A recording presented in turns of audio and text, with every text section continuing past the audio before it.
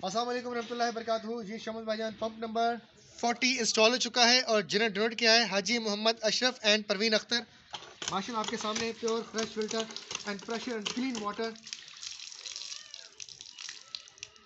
मतलब pure fresh filter and clean water माशा जिस घर में हमने पंप लगाया, आपके सामने ये मकान है।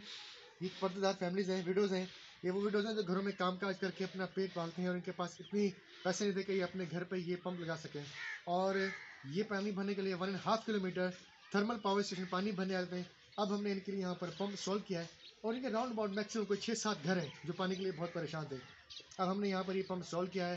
ये विडोज़ जो घर में काम काज करके बर्तन धोना, कपड़े धोना वॉश करना, ये सब काम काज करके अपना ये पेट पालते हैं बच्चों का मुश्किल से। इनके घर में हमने हैंडपम्प लगाया है और जिन्हें ढूंढ किया है, हाजी मोहम्मद अशरफ एंड परवीन अख्तर। सबके जारी के तौर पर ये पंप लगाया गया है। ये सारी ज़िंदगी पानी पियेंगे इस घर की फैमिलीज़ आसपास के जो घरों की फैमिलीज़ वो यहाँ से पानी भरेंगे, पानी इस्तेमाल करेंगे और वो तहत सुधा देंगे। सो थैंक्स फॉर जजाकल्ला बहुत बहुत शुक्रिया।